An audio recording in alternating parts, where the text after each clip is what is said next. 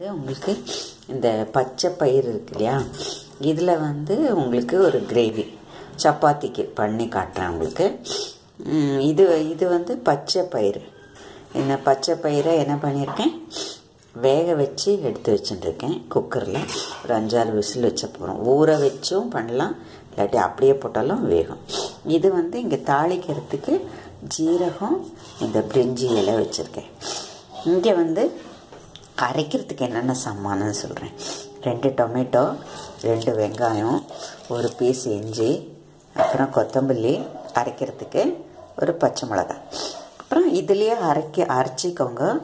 ஜீரகம் வந்து ஒரு டீஸ்பூனு ரெண்டு சின்ன பீஸு மூணு பட்டை ரெண்டு ஏலக்காய் ஒரு அஞ்சு அஞ்சு ஆறு கிராம்பு அப்புறம் ஒரு டீஸ்பூன் வந்து மிளகு ஒரு டீஸ்பூன் உப்பு அப்புறம் வந்து இது வந்து ஒரு டேபிள் ஸ்பூன் தனியா. இப்படி எடுத்துக்கோங்க. இவ்வளோ எடுத்துக்கோங்க. தனியா அப்புறம் ஒரு டீஸ்பூன் வந்து மிளகாப்பொடி அப்புறம் உப்பு. இவ்வளோ தான் சாமான். அப்புறம் இந்த கொத்தமல்லி இதுலேயோ இதெல்லாம் இது வந்து என்ன பண்ணணும்னா இங்கே பாருங்கள் என்ன பண்ணியிருக்கேன்னா டொமேட்டோவும் வெங்காயம் பச்சை மிளகாய் இஞ்சியை கொஞ்சம் எண்ணெய் போட்டு வதக்கியிருக்கேன்.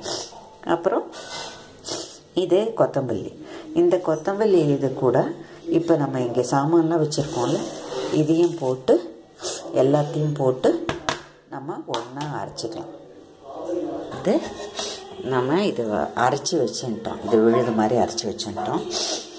அப்புறம் இப்போ வந்து தாளிக்கிறதுக்கு எண்ணெய் வச்சுருக்கேன். ஒரு த்ரீ டீஸ்பூன் எண்ணெய் வச்சுருக்கேன்.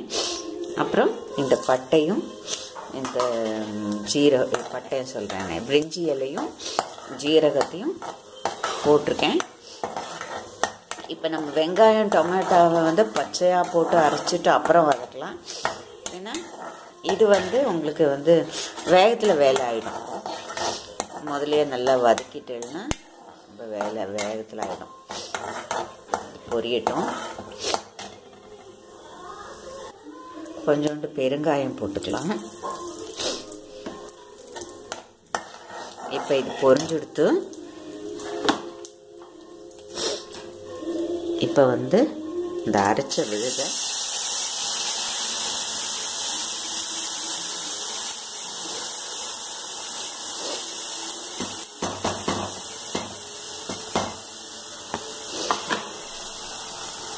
அரைச்ச விழுதை போட்டுக்கலாம்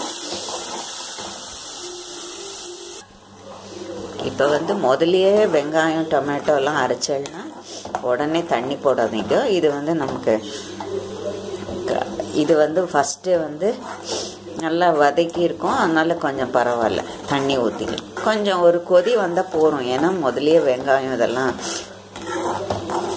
நல்லா வதங்கியதுனால ஒரு கொதி வந்தால் போகிறோம் அந்த மசாலாலாம் கொஞ்சம் ப மசாலா அது கொஞ்சம் பச்சை வாசனை போனால் அந்த கொதி வந்துட்டால் போதும். இதுலேயே எல்லாமே போட்டிருக்கோம். உப்பு ஜீரகம் மிளகு தனியா எல்லாம் போட்டிருக்கோம் இந்த சப்ஜியும் வந்து எங்கள் அண் அண்ணி தான் எனக்கு சொல்லி கொடுத்தா. அவள் டெல்லியில் இருந்தா அவள் தான் சொல்லி கொடுத்தது இந்த ரெசிபி ரொம்ப நல்லா இருக்கும். இது வந்து இந்த பச்சை பட்டாணியில் பண்ணலாம் வெள்ளை பட்டாணியில் வ- பண்ணலாம். இதே மாதிரி. அப்புறம் உருளைக்கிழங்கு. உருளைக்கிழங்கு பட்டாணி போட்டு அதையும் இது மாதிரி பண்ணலாம். ரொம்ப நல்லா இருக்கும்.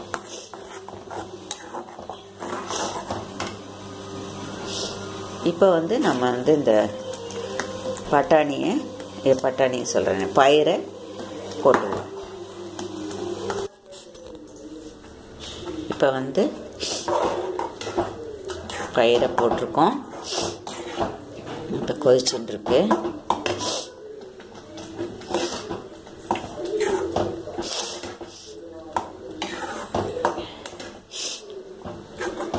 ரொம்ப நிஜமாகவே ரொம்ப நல்லா இருக்கும் இது. இந்த இது சப்பாத்திக்கு. அதோ இப்போ வந்து குளிர்காலத்துக்கு சுட சுட கொடுத்துடலாம். எல்லாரும் லைக் பண்ணி சாப்பிடுவா.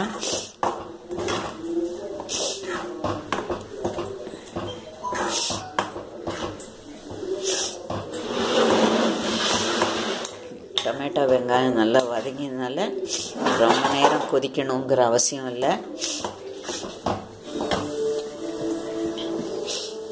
இப்போ வந்து பச்சை பயிறு கிரேவி ரெடி ஆகிடுது நீங்களும் பண்ணி பார்த்துட்டு எனக்கு உங்கள் கமெண்ட்ஸை எழுதுங்க. Thank you from K